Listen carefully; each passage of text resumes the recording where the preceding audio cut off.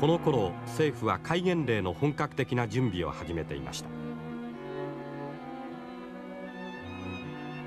内務省では逮捕者リストの作成が進められ秘密警察は連隊の幹部の動きを24時間監視下に置きました。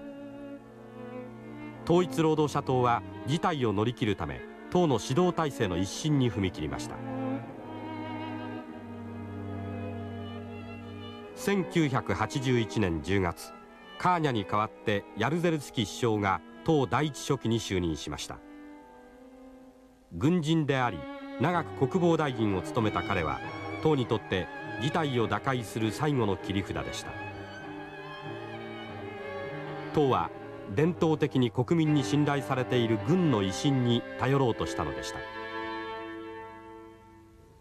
ヤルゼルスキーは凄腕の政治家だったと私は評価しています。彼に対しては当時モスクワから助言という形で何度も強硬な圧力が加えられました。ヤルゼルスキーはこれにかたくなに抵抗しようとしました。しかし彼は最後に必要と思われることだけを実行したのです。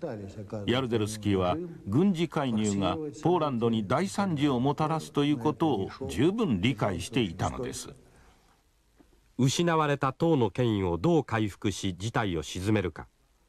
首相と国防相も兼任しいわば党政府軍の実権を握ったヤルゼルスキ第一書記は就任間もなく戒厳令の布告を決意したのでした。